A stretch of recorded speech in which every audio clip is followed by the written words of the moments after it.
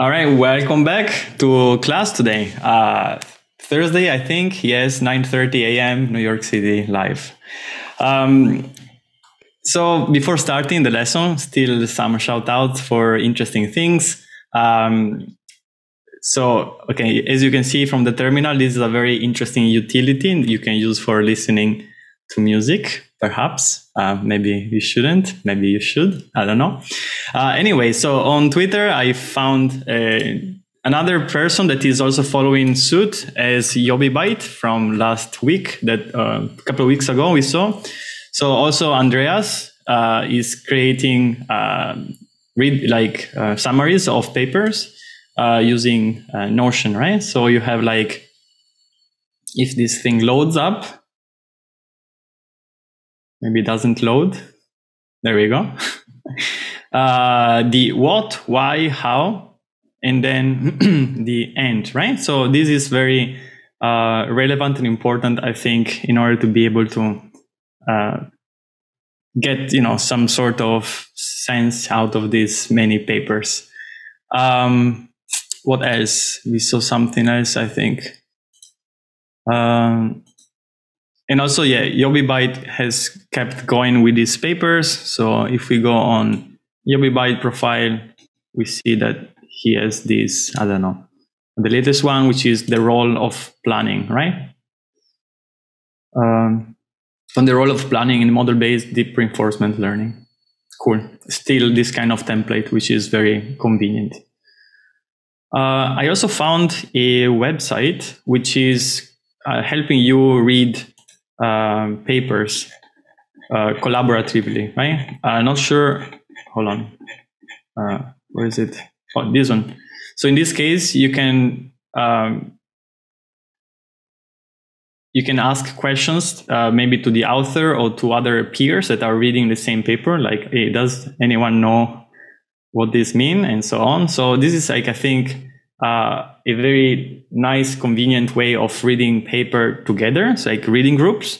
And if this thing actually is going to be used by many people, it actually is going to be helpful, right? So uh, you should check out this. I think share there's not enough likes right now. I think people should use this extensively in order to be able to digest more papers, right? Because otherwise, how do you learn new things? I cannot be always next to you by your side and try to explain things. We should be always uh, helping each other and provide our, you know, knowledge to others, right? Because we are kind people. All right, enough talking about uh, website and and stuff. And so we can start the lesson um, from today. So what do we talk today about? Uh, and we go in full screen. All right. So foundations of deep learning. Me, Alf. Okay. Uh, so today lesson is going to be slightly more mathematical, perhaps, uh, as in there is quite a bit of notations, and you should really try to uh, stay, uh, you know, up to not up to speed. How do you say? Stay with me, right? If something gets lost, then you might get lost and you can't recover. So try to pay attention carefully. And if you don't get something, ask me to repeat. I can repeat forever. I don't mind. Okay. All right. So today, today, finally, we talk about attention. Um, why do we talk about attention? Because have we seen, like from the last two years in uh, uh, natural language processing, attention has had such a major, uh, you know, effect, and we had so much, so many good results. Moreover, recently uh, we also saw many results of applying attention and something that we're going to be learning about later, which is called the transformer to image data. Okay. Uh, but what are these models about, right? So what is the um, thing that actually dif- differ- differentiates attention from other techniques we have so far seen so far? Well, attention actually works on sets, works on sets of elements. Uh, whereas we have seen before that like both convolutional and recurrent network operate on uh, uh, lattices, right? So on some sort of grid in one dimension uh, two dimensions or three and so on, right? Regular uh, grids. This actually, uh, this architecture here operates just on bunch of vectors, um, which don't have necessarily to be in a grid, okay? So this is like a first relaxation we, we're going to be seeing today. Uh, next week, we're going to see how to learn uh, information and, and, and, data on uh, uh, graphs where a given structure is given to you, right? So these are becoming a little bit less, I would say, common, perhaps common knowledge, like it's a little bit more niche. Uh, and it might take some effort to actually understand what's going on. Okay, so just stay with me. I take you, I take you by hand from beginning to the end line. Okay. All right. So attention. Uh, there are two different types of attention. We have self or cross attention. And then we're going to be also seeing this distinction between hard and soft attention. Okay. Anyway, we're going to be dealing with sets. What are some examples, right? So we start from there. So these were the slide from the recurrent neural net lecture where we have seen four different mappings, right? Sequence to vector, vector to sequence, sequence to vector to sequence, and then sequence to sequence. If you don't remember, watch the recording. So today we're going to be introducing a additional term, right? It's going to be set.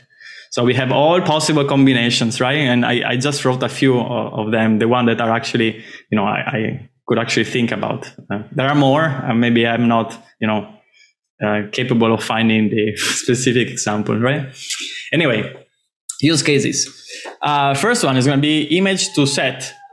Uh, for example, we're going to be mapping an image to bounding boxes, right? Uh, and an example of this is going to be the DETR paper we uh, talk about during class, right?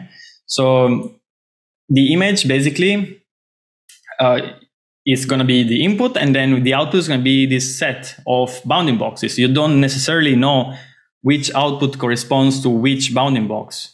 You can permute the output, still going to be the same set of bounding boxes, right? Uh, don't believe there is a necessarily a order in bounding boxes, right? So that's why it's image, the input through, you know, possible sets, uh, a set of possible bounding boxes, right? Um, so this is the first case, right? Second one is going to be set to set.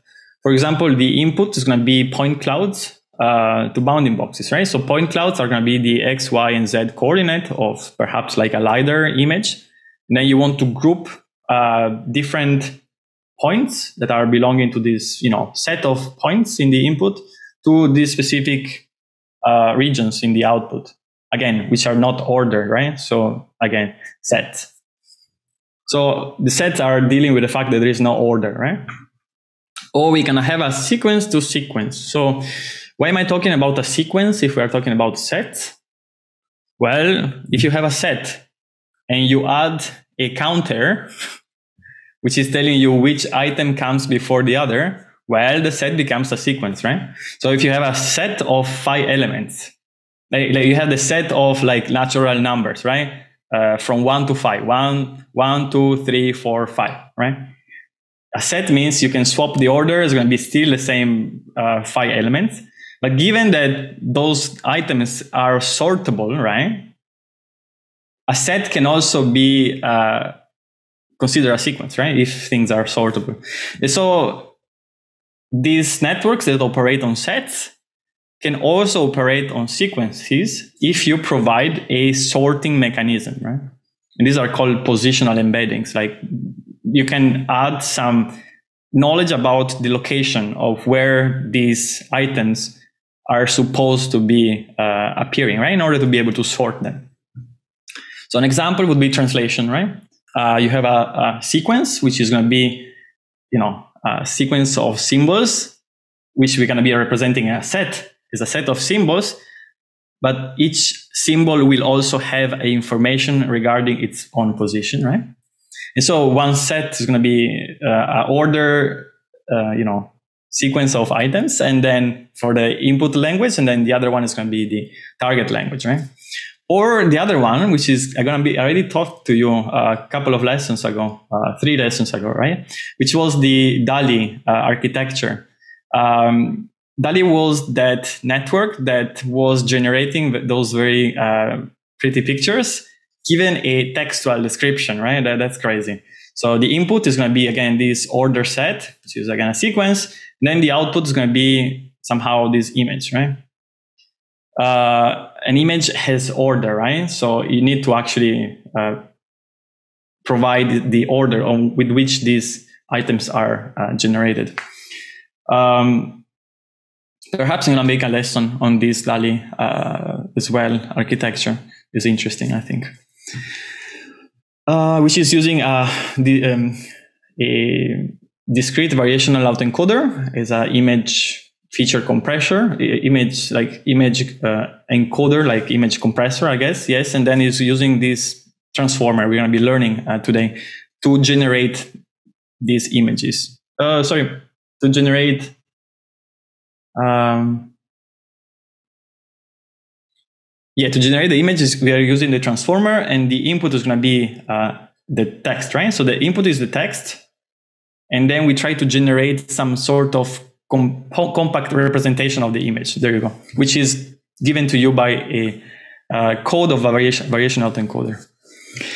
Uh, then we have, for example, set uh, sequence to set. For example, if you have um, sequence of uh, like a signal, a one-dimensional um, electrocardiogram, and then you want to find the location of some, uh, let's say, uh, dangerous or whatever anomalous sequ sequence, right? Part, right? So you're gonna find the extent and the location of these regions, right? So it's like bounding boxes in 1D, more or less we can have image to vector, for example, the image uh, visual image transformer. Uh, you can have sequence to vector, uh, which is going to be this order set to a movie review, for example, right, uh, to a vector.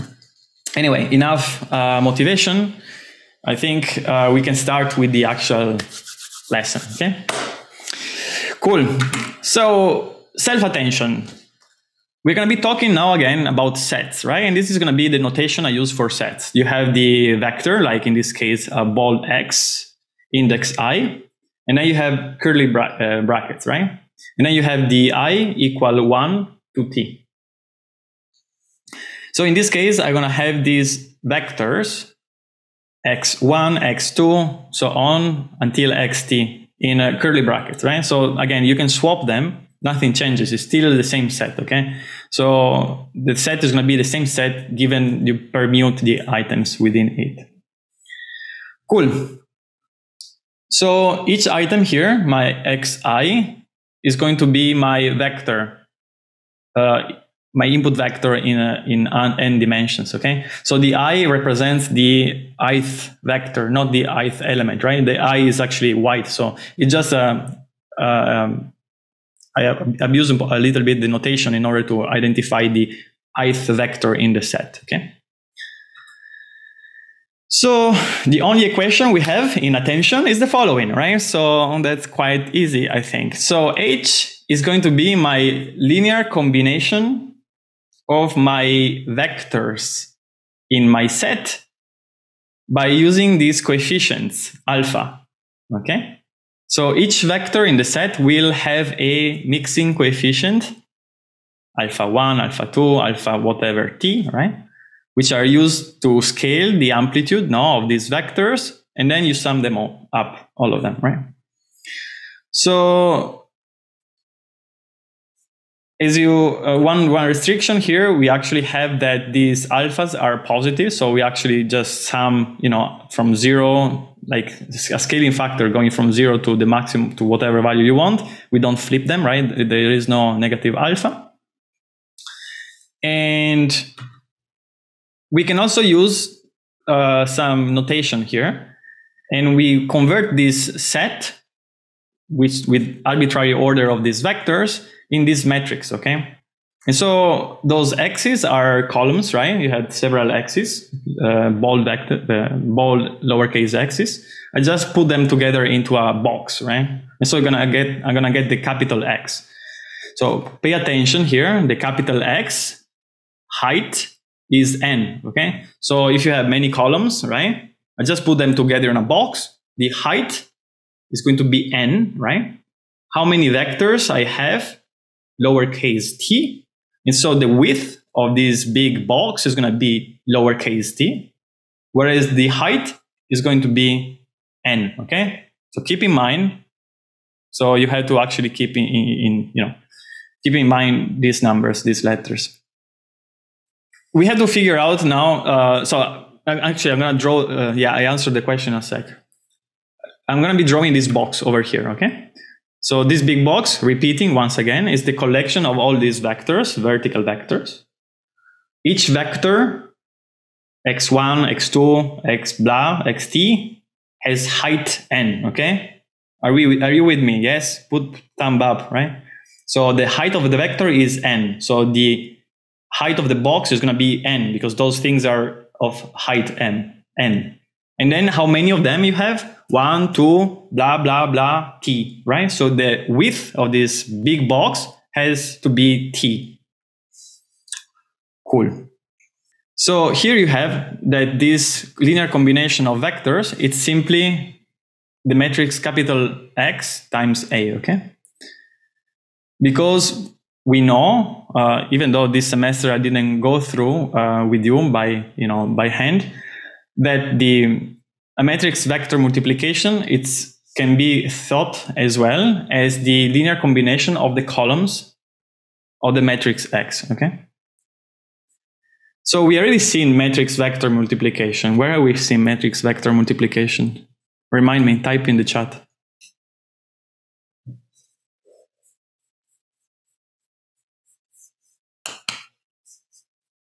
Where have we seen mat matrix vector multiplication so far? Yeah, dense layer, okay? And so how do we think about dense layers? How did we say, how did we say we think about dense layers? How do you call, how do I call them? Yeah, linear transformation, sure. No, how do I call them, right? We, we I just keep repeating these two words all over the, that lesson, the second lesson, right? Yeah, now, squashing is the nonlinear function, right? And rotation is the other one. Okay, thank you. So I usually been I've been telling you all the time, right? Uh, neural net is simply rotation, squashing, rotation, squashing, right? Here again we have a matrix vector multiplication. In this case, I won't call this rotation because what would be rotating? What would be what would we be rotating in this case? the vector A doesn't make sense. Also, in the rotation part, the rotating part was which matrix? Who was doing the rotation? In the rotation squashing, rotation squashing, what was doing the rotation?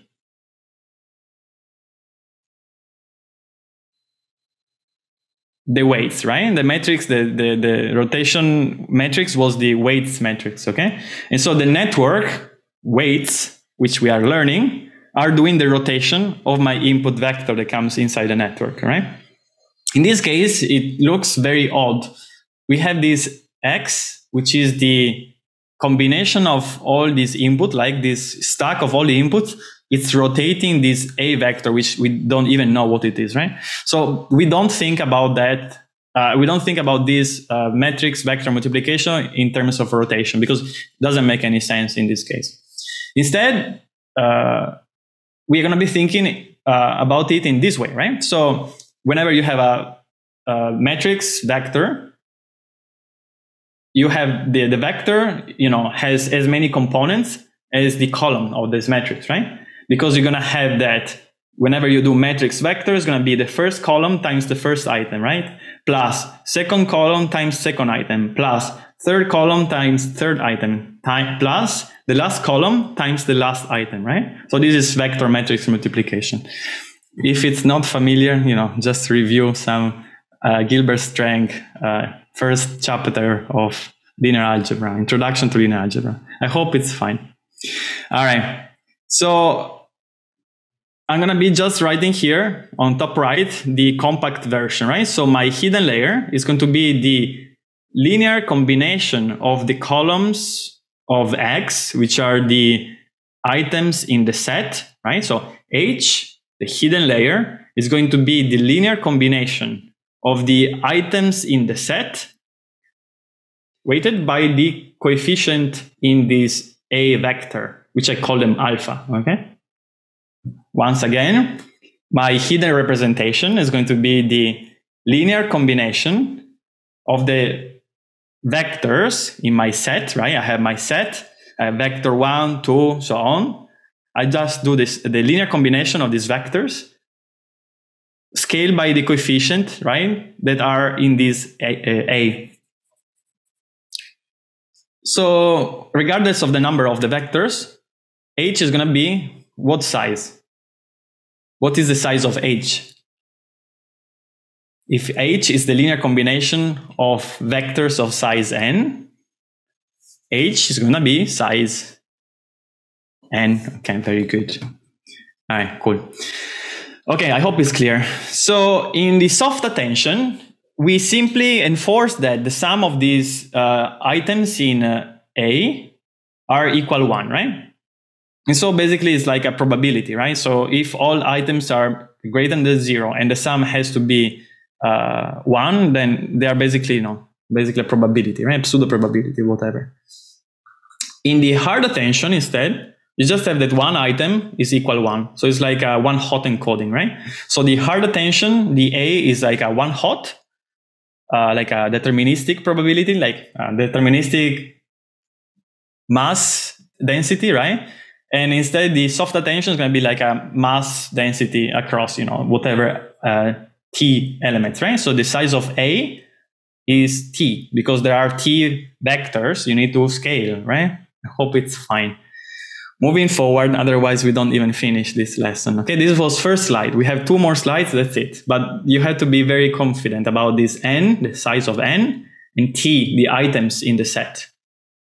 Such that the size of A has to be also t, because you have one coefficient per every vector.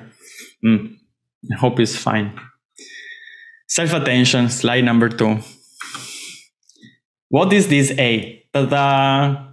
A is going to be the soft or just the argmax, right? Soft argmax or just the argmax of this thing here. What is this thing here? So we have capital X, which was this box of vertical uh, of vertical vectors transpose, right? So now capital X transpose is going to be these horizontal vectors, right? Multiplied by my x. What is x, right? So capital X, lowercase x, right? So capital X is going to be this combination of columns, right? So you flip it, it's going to be combination of rows. Lowercase bold x is going to be a given item in the set, okay? The same as before, I was calling this h just this capital X a, a given a. So this is going to be like the generic x, okay? One of the items in the set. I call it X. I don't put I don't put the index I because I don't want to specify which one. It's just one. I don't care which one. Okay. So what is the dimension of this A? So if you have how many rows does capital X transpose have? Capital X had T columns, right? If I flip it, you're going to have T rows, right? Then I multiply it first row times this one, like you have, you know, t times column, whatever is going to be t eventually, right? What are each multiplication telling you, right? What is the first row times the first I, first column, right? So what is the first row times the column? It's going to be the projection, right? Of the first item towards the, the given x, right? There's the projection of the second item towards the given x, projection of the third item towards the given x and so on, right? So we compute basically a vector which is containing all these projections. What are the projections? Projections are telling you how much aligned two vectors are, right? Basically. Cool. And then we send this through a argmax, which is going to tell you, oh, which is the highest match, basically, or a soft argmax, right? Which is going to tell you this probability distribution across these uh, uh, across these scores, right? Done, finish, right? That, that's it. There is not much more. So what are the square, square brackets? That means it's optional, right? Uh, means you can choose to do soft argmax to have the probability or the argmax to have the one hot, right? And so let me recap the things, right? I had t's, t vectors, xi, right? Dun, dun, dun, dun, dun, dun. This implies that I will have a, a t, a mixing coefficient, right? If I have t items in my set, I eventually will end up having t attention vectors, right? Right? You're following, yes? And so we can put together this set of attention vectors into a box, right? Each attention vector has t elements, right? Because each attention, attention vector, it's scaling those t columns, right? And then how many of them I have? Well, I have t, right? Because I have t axis, right? Cool. So given that I have a set of attention vectors, I will have t hidden representations, right? Which I can also combine into this big block, capital H, right? Cool. So finally, I can simply write that capital H, which is this big matrix of uh, hidden representation, is going to be this capital A, capital X, capital A, right? What does capital X, capital A means, right? So capital X, capital A means you have X times first vector, A is going to be the first H. Then you have the matrix A times the second vector in the A matrix. You're going to have the second items in the H and so on, right? So if you stack multiple vectors uh, after A, right? So you have the first vector of A, second, third. You're going to have several outputs uh, in the several outputs, right? After you complete the matrix multiplication. What is the size of H?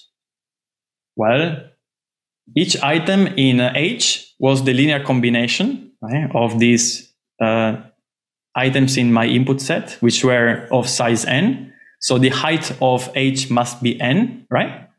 And then what is the, the, the width? Well, we had t items in the set. We're going to have t hidden representation, right? One hidden representation per input vector. If you swap the x's, you can just swap the h's, right? There is no connection, uh, depend, like there is no information in the order, okay? Cool. So far, everyone's following? Are there questions? Can we say A is like a self-correlation matrix? Yeah. In this case, yes, of course it is we're going to be learning now how to make things a little bit more interesting now. And this is like the foundational, like you had to, these, these first two slides are here in order to make you understand what's the difference between n, which is the size of the input, or the size of the combination of the inputs, because again, if you do linear combination of whatever vectors, you're going to get the same size. And t is the number of vectors you have, okay? So these are the two main things we have here, n, t, right? And then how is H computed, which is the linear combination uh, of the columns, right, of, of these items in the set. And A is going to be given to you by these argmax or soft argmax, right? The, or the one hot or this probability. Cool. And there's the major uh, thing, which is called a key value store. What, what, what is this stuff, right? So it's a paradigm for storing or saving, uh, retrieving or querying, querying, I don't know how to pronounce query, I think querying, and managing an associative array, dictionary or hash table. What does this mean? So this means that we're going to be using these concepts here and convert them in terms of neural nets in order to store, save, no, retrieve, take out, query, or managing our uh, information within a neural net, right? So we're going to be basically creating this associative array uh, in hash table where we put information and we can take out information when we want. So we start with these queries, keys, and values. So back to this matrix multiplication, where finally the matrix is the weight matrix, right? So what is Q? Question to people at home. How am I going to be describing Q using my jargon? Q is, finish my sentence, the rotation of x. Then thank you. Very good.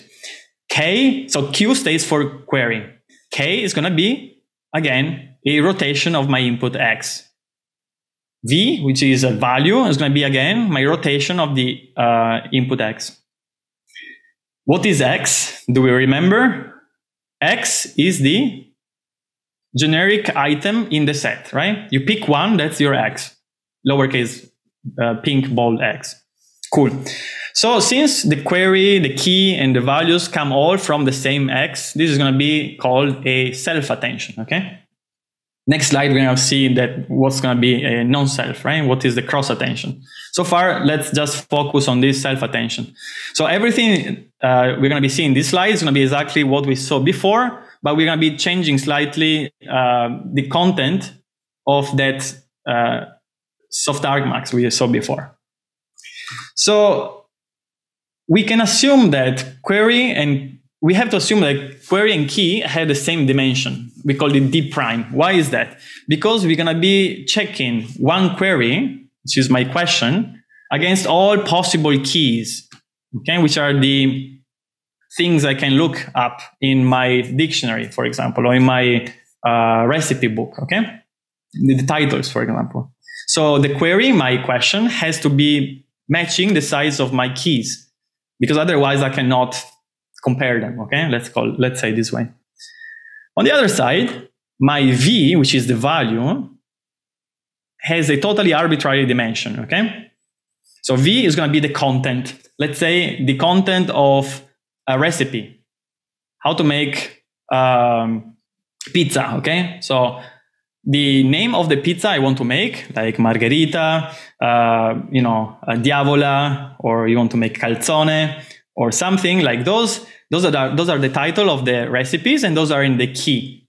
Okay, in the those are the some size key the, the, the, title of my, uh, my recipe.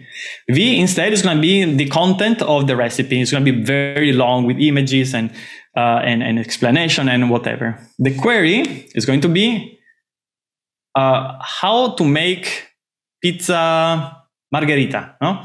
Or how to make pizza quattro stagioni, something like that, okay? So whenever I have a question, how to make something, I'm to check all the titles in my recipe book those are the keys, right? I check the uh, which one is going to be matching, and then I want to be retrieving the value, which is going to be the content of the recipe. Okay, how do we do that? Well, uh, we see that in a second. To simplify just notation, so I can remove all this d prime this second, I just say that uh, queries, keys, and values all have the same dimensions. But it's not true, right? The value, we, we just figure that is a very large possibly uh, recipe, right? Whereas the queue, and the query, and the key are simply the question and my, my, my title, right? So this is just an assumption to make notation simpler here. So how many items we had? We have t items in my set, right? x1, x2, x3, blah, blah, blah, t items in the set. This implies that we will have t queries, t keys, and t values, right? Because each query comes from the rotation of each item in the input set. Each key comes out from the rotation of each item in the input set. Each V comes out from the rotation of each item in the input set, right? So if we have a set of input, we're going to have a set of queries, a set of keys, a set of values which I can also draw as boxes, right? I have a big box for Q, I have a big box for K, and I have a big box for V, right? Cool. So finally, last question of the day is going to be what is my attention vector? My attention vector is going to be this soft argmax or argmax of this capital K transpose times Q. What does it mean? Given a query, Q, how to make pizza Boscaiola, I have to check all the keys, right? So I have my, my vector here, my, my query, how to make pizza margherita, whatever. And then I have to check this with the uh, pizza margherita, pizza boscaiola, pizza quattro stagioni, pizza quattro formaggi, all different types of pizza, okay? one query, okay, again, all possible titles, right? So you're going to be checking one question, again, all your possibilities. How many possibilities you have? Remember, remind me, how many possibilities I have in a K, K transpose? T, right? Very good. Because we had T uh, columns, so we flip it, we can have T rows.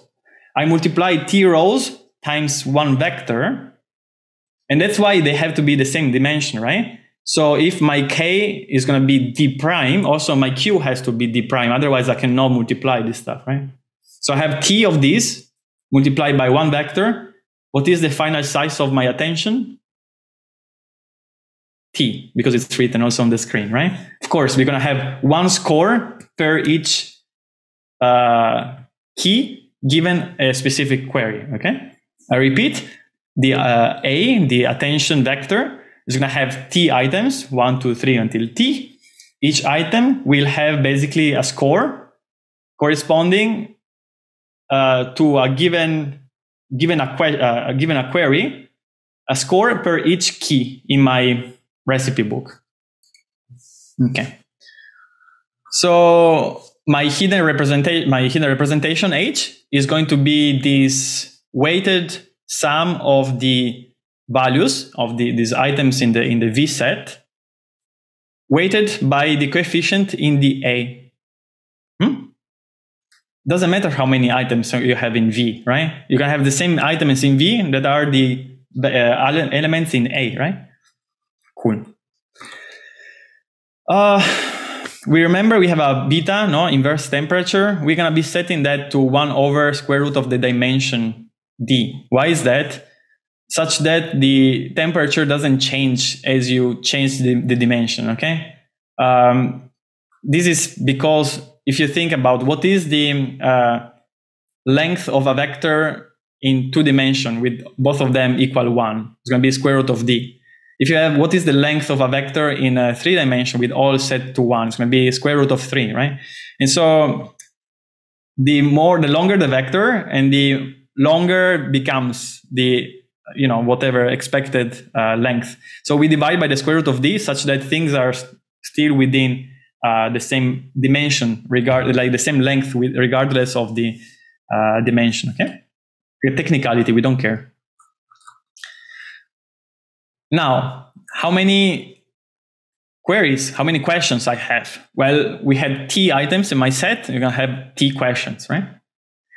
Therefore, this implies I will have T uh, answers, no? TA, T attentions vectors, which implies I'm gonna have a, a matrix, capital A, which is the combination of these columns, right? The box, which is T by T. Why is T by T? Well, we said that each vector has t components, right? Because you're going to be using each component to weigh each item in my in my value set, right? But then how many of these vectors I have? Well, I have one vector of t components per each item in my set, right? So you have t components and t items, right? So it's going to be a square matrix, t by t. Cool. So final question, you just use all capital letters. Capital H is going to be capital V times capital A, which means the columns of this hidden matrix is going to be the linear combination of the column of the V matrix. And the linear combination coefficients are stored in this A matrix, which comes out from this scoring or this, you know, whatever you want to call it, between one query and each uh, key. Okay. I hope it's clear. If it's clear, we move on to the uh, one last tweak to this uh, to this presentation, which is going to be the. Uh, let me clear up first. Like actually, let me write down, uh, on the top right this um, just for a reminder, right? So we had the queries which was a set of cues, no, a set of questions.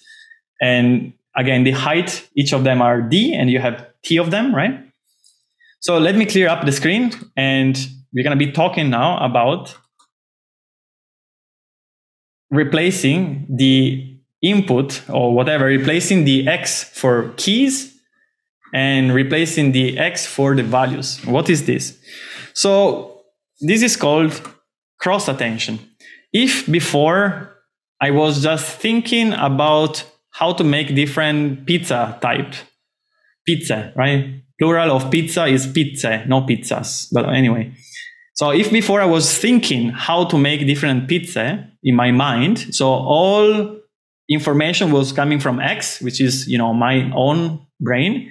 Now actually I'm calling mom, mom, Xi, right? The, the other Greek letter. Mom, how to make blah pizza? No? And she tells me, right? So I have my question comes from me, from lowercase x, but I call mom, which is going to be Xi. Mom has all the, the keys, no? Of course, mom always has all the keys uh, and all the recipes. And that's the only difference, right? How many questions do I have? Still T. But how many answers my mom has? You know, how many, what is the knowledge of a mom? Much larger than mine, right? And so Xi goes from J equal one to tau, right? And tau in this case, in this example, is much larger than my T, right? For cooking, for sure. Anyway, so given that mom has a set of uh, tau Xi, it will turn out that mom will have tau keys and tau values, V's, right? And so these matrices, K and V, the height is going to be still D, right? And the key, the K has to match, no? The, the key has to match my question, right? So still have to be D here. But then the width is going to be much, much, you know, larger, right? Because mom is very knowledgeable. Hmm? You follow me, right? All right, so uh, let's watch, let's look at the equations, which are just slightly different, right? So we have that the attention vector now has tau components. Why does it have tau components? Well, simply because the capital K now has many, many more rows, right? It has tau, tau rows, right? And so you end up with tau mixing coefficients for the values that mom has, no? For the recipes that mom has. So mom has this huge repository of recipes. Each recipe is going to be weighted, weighted by a coefficient in this A vector. How many coefficient do you have? One per every recipe. How many recipes are there? Tau. Okay. What is the final size of H? D uh, second, which again, here I, so for simplification, I just put D. How many questions do I have? Oh, well, those are from me. I have little questions, you know? So I have T questions. And so eventually my final A matrix will have T questions, right? T columns. But each mixing, um, each, each column will need to have tau element, right? Because each of these coefficient will be used to mix those tau uh, recipes my mom has. So final equation, no big difference. You still have this H which is the outcome of asking T questions, by mixing these d-dimensional values in my mom's recipe book or whatever. And so eventually you still get d times t, right? T columns of d size. Cool. Any question about how to make pizza? Is it clear so far? I hope so. I mean, I really try my best to to explain things in a palatable way. Okay, you appreciate very much the pizza example. I'm glad. Uh, questions so far before I move on to the uh, some more details?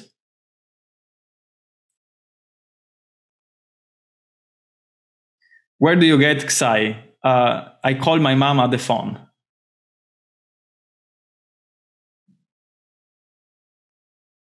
in the analogy. Or in practice, you have two sets of inputs, okay? So X was one set of inputs. Xi is another set of inputs. Different number of items, right? I have T x's in my set here, my, my, my, that are generating the question later on. And then here I have tau xi's, which are the xi's that are used for generating the keys and the values. If I do attention within myself, it's called self-attention. I just, you know, think in my own brain what I can do. If I want help and I call it, I call home, I just do cross attention because I've been asking question to my mom, to a different set. Okay. I hope it's clear. So you had two different sets of inputs. Okay, very good. All right, moving on. Can I ask more questions? Yes. Um, so implementation. In this case, I'm talking about self-attention. So I just use one, one variable for easy of nota- ease of notation. So here I can think about stacking all my uh, queries, keys, and values in one big vector such that I can compute this big vector by having this big matrix here, which is going to be the stack of the, the, the, the WQ, WK, WV times my, uh, my X, right? So you have stack of three matrices here, my X, you're going to have the stack of the three outputs, right? You can stack things both direction, right? You can stack multiple X's this way, you can stack multiple uh, matrices this way, right? All right, we see this. We've seen this already before, right? So we saw this uh, whenever we were talking about recurrent neural net. We were having that uh, I was stacking multiple axes, uh, multiple axes in this case, right? Tack, tack. Uh, and there we actually were stacking this on horizontally. So you, we already seen this kind of stacking operation, right? So we are big, we are going to be considering now h heads. So we can get like three heads for of dimension d, right? What what is this? So in this case, I can stack multiple matrices, right? Even more. And in this case, basically I'm going to be generating multiple questions given the same item in the set. So far, we have seen that there was one question per item in the set. In this case, if I have multiple question uh, query matrices, I'm going to generate multiple questions, multiple queries per given set uh, item in the set, right?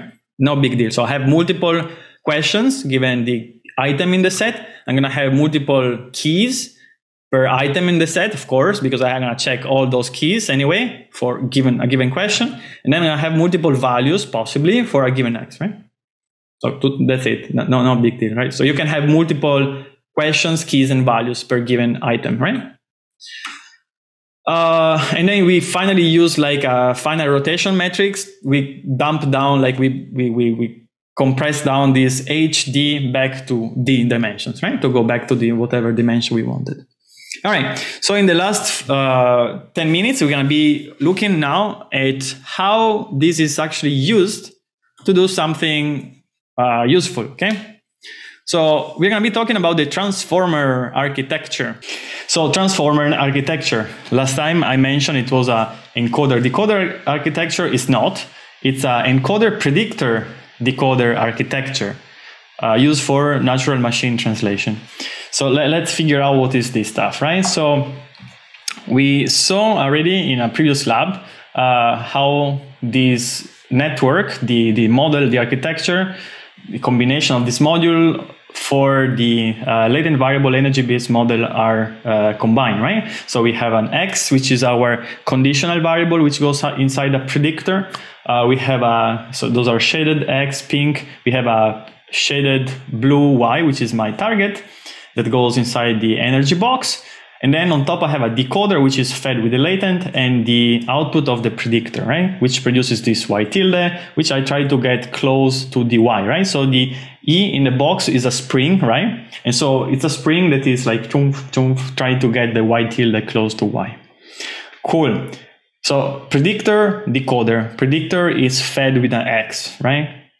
To come in Y space, right? So predictor is necessary to move from one space to the other. All right.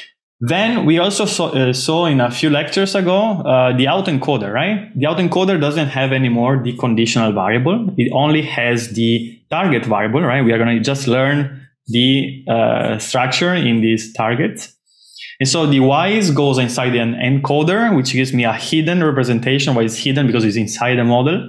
Then I have a decoder, which is coming back to the original Y space. It's a Y tilde. Tilde means more or less, circa, circa. And then there is a spring between the Y on the bottom and the Y tilde on top, such that those are close together. Finally, we introduce the transformer. So let me clear up the screen. And we have basically the same uh, item so far. So first difference, okay? So, so far everything is the same, no big deal. First difference, we have this module over here. What is this module over here?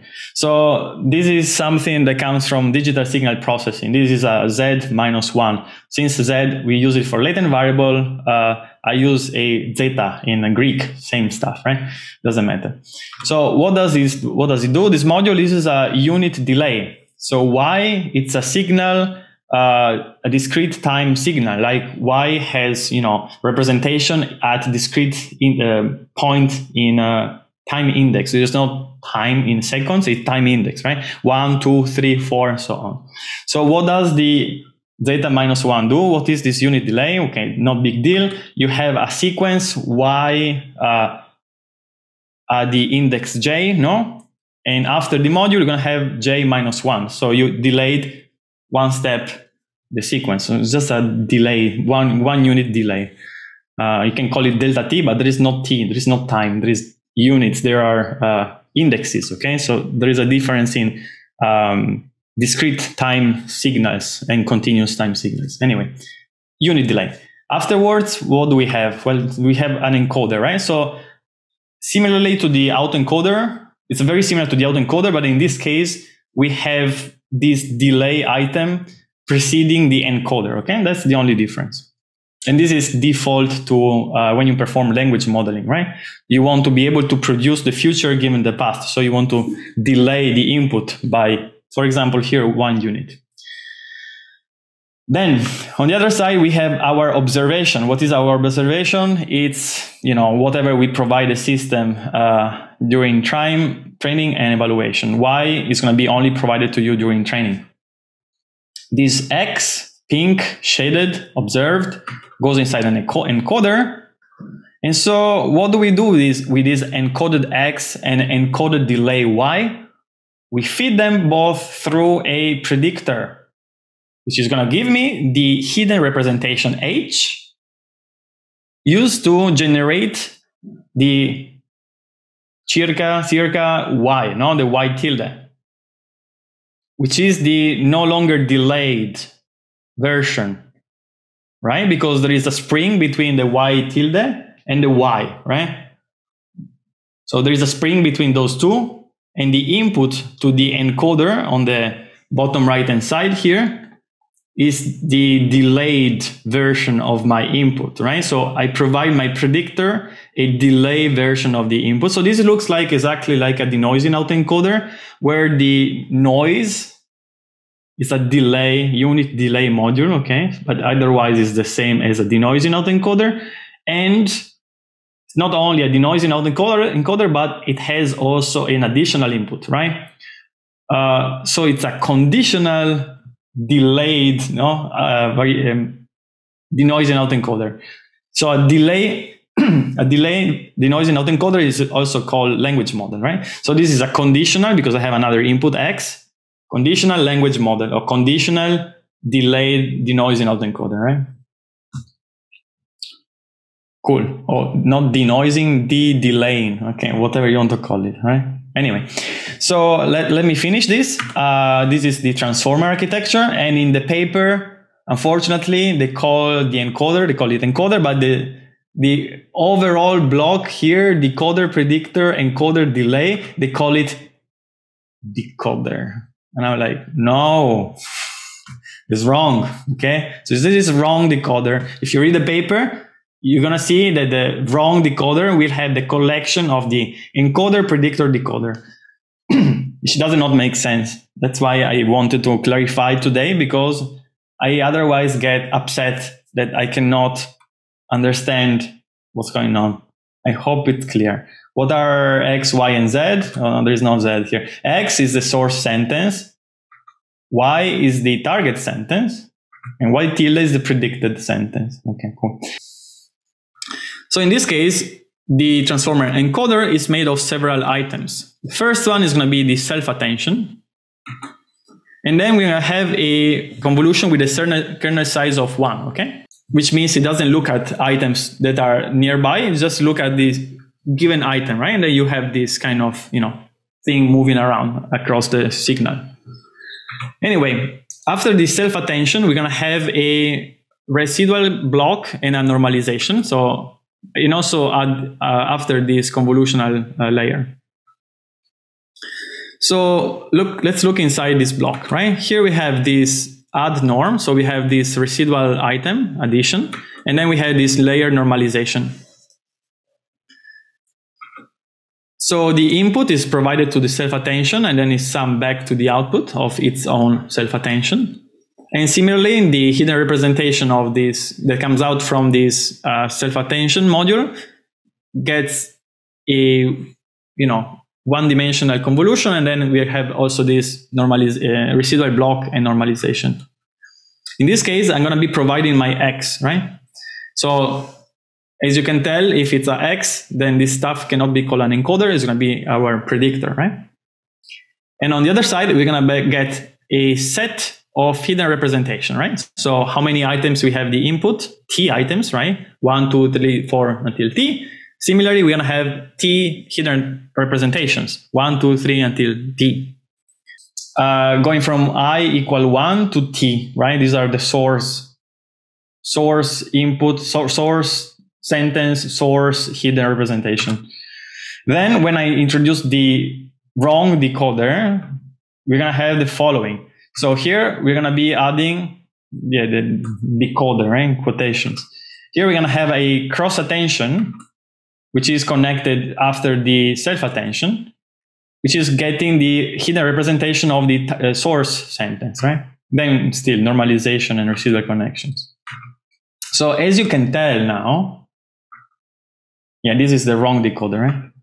We can train this by providing the delayed uh, target sequence, you can see j goes from 0 to tau minus 1, whereas the output is going to be the hidden representation going from j equal 1 to tau, right? So there is a 1 shift, and which is used later to produce those y tildes, j equal 1 to tau, right? So source i 1 to t, target j 1 to tau, right? Different i, j, t tau, right? Different lengths. Doesn't have to be same length. How do we generate outputs during inference? Well, during inference, I just produce the first output here, and then I put it back here, right? I generate a second output, and I, I produce a second one. So during inference, I'm going to be using a autoregressive manner, right, technique to generate one item at a time. But the cool part that is during training, I can combine all the outputs at the same time, right? Before with recurrent neural network, we had to do backpropagation through time. So we input one, two, three, four, five, six, seven, so on samples. And then you do backpropagation, tack, tack, tack, tack, tack, through time, right? And so this stuff takes forever. And also it has the issue that has, you know, a temporal dependency. So you have to always go back and forth the whole sequence, right? It's not really parallel, parallelizable, right? Uh, moreover, the hidden, uh, hidden representation is updated sequentially. So the hidden representation over here update was very far from here. And we had problems with long-term dependencies. How did we solve that? We had to introduce gating mechanism, which is like selectively remembering or forgetting information. And if it's very long sequence, maybe you don't even get enough gradients coming back or whatever. So in this case, everything is processed in parallel, right? You have the input, you compute some transformation of all the inputs, and then poof, you get the output. Here you have the final target, you measure the distance, and then poof, you perform backprop. Vertically, there is no temporal information anymore these items, you can swap them. There is no information. Each item can look at every other item. That's why it's called um, permutation equivariant. Right? You can change the order of the items. Nothing changes. But then how do we tell that this is a sequence, it's not a set? Well, you have to provide a additional information to each input, which is basically telling, oh, this is the first input. This is the second input. This is the third input. This is the fourth input. So that even if you shuffle the items, the network still knows that this is going to be the first item, this is going to be the second item, this is going to be the third item, this is going to be the fourth and fifth and sixth and seventh and whatever, right? The network doesn't know about the order because there is no order in the attention module, right? Therefore, you need to provide the order as additional information to the network. Okay. What is the correct terminology? As you can tell, because we already see what is the, the encoder, this is the encoder, right? The self-attention is the encoder part. What is the left-hand side? It's the predictor, right? Which is mixing the hidden representation from the source and the hidden representation for the target, delay target, right? What is the last module? You, of course, the last module is going to be decoder. This is the model of the transformer, which has encoder, encoder, where encoder, right? encoder and delayed encoder, predictor, decoder, right? Yeah? No? Cool? Uh, the, the, the, this, is, this is coming from the Z transform, okay? So this is like digital signal processing. You have like Fourier transform to see the, the frequency domain. Then you have the Z transform to see like, like an expansion in the complex plane in order to have convergence of uh, function, like transforms that of function that cannot uh, have the Fourier transform. Okay, so this is like digital signal processing. I'm, a, I'm an electrical engineer who forgot a lot of things. So I sp- spend a week restudying this stuff. But again, just for one symbol convention. Finally, uh, let me exit this thing, uh, this card. I'm going to be showing you the notebook that are is used to use this uh, network, and I'm just using the encoder, right? So we go in work, GitHub, PDL, uh, Conda, act, active, activate, PDL, Jupyter Notebook. Okay, so this is going to be the um, transformer. All right, so the main parts are going to be the following. So we have a um, yeah, I call it soft argmax, the, the, whatever people call softmax, right? Because it's wrong name. So I have multi-head attention. How does it work? So this multi-head attention is the following. So here I have the number of heads. As I showed you before, we can have multiple queries, multiple questions per given item in the set. And then I have this D model, which is just the size of D. So here we're going to have these three matrices, the WQ, WK, and WV, which are the rotation matrices which is mapping my uh, x, the dimension for the xq, the dimension for the uh, the x for the key, and the dimension for the x for the v, right? Uh, to the d model, right? Internal dimension d.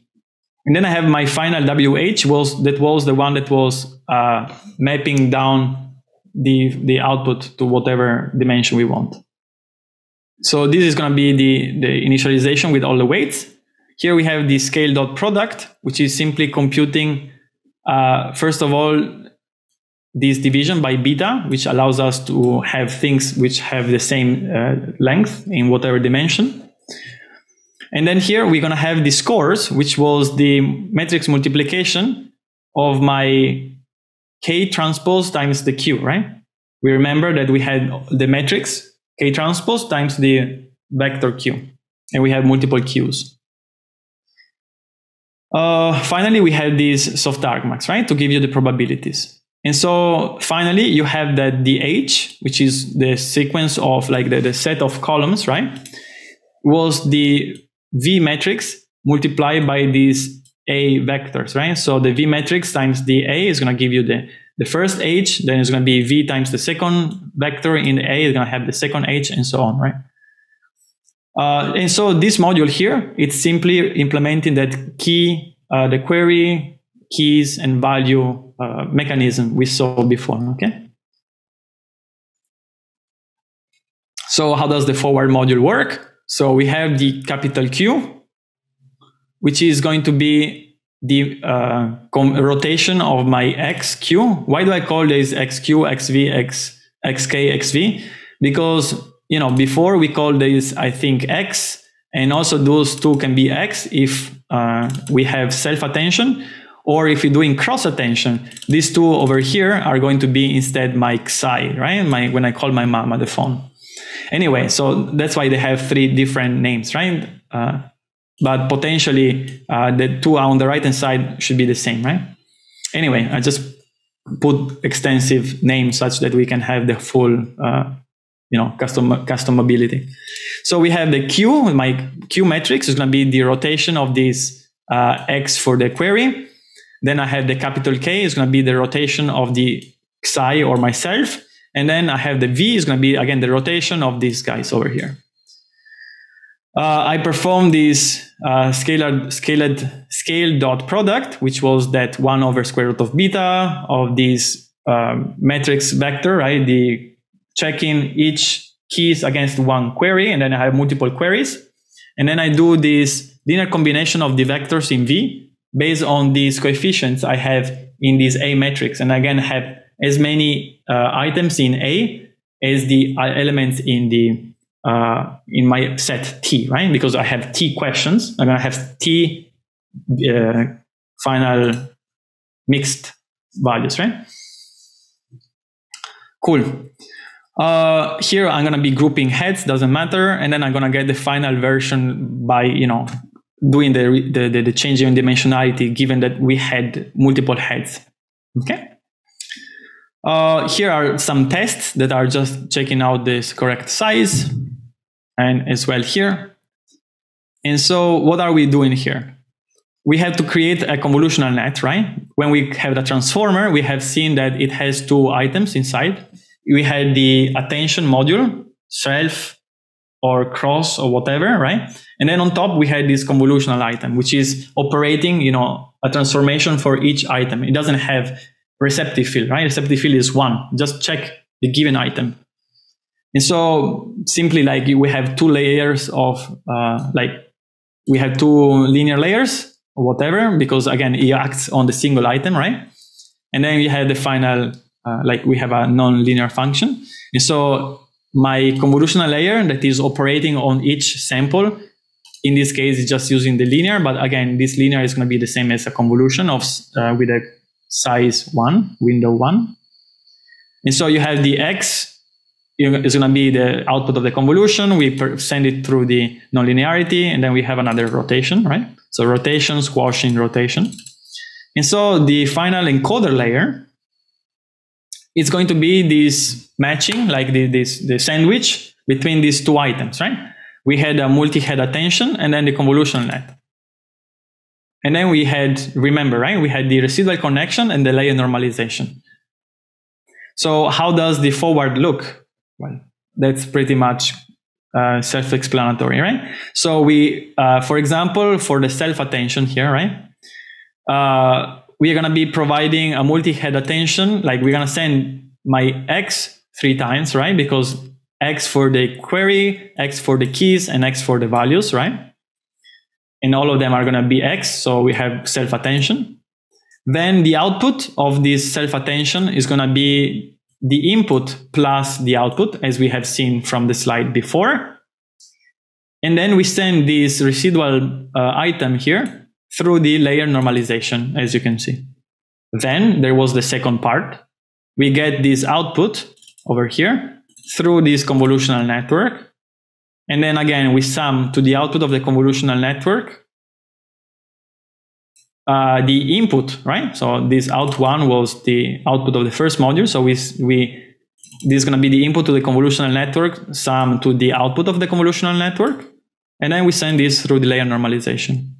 And so this is how you can write in, you know, five, 10 lines, basically, a encoder, a transformer encoder, right?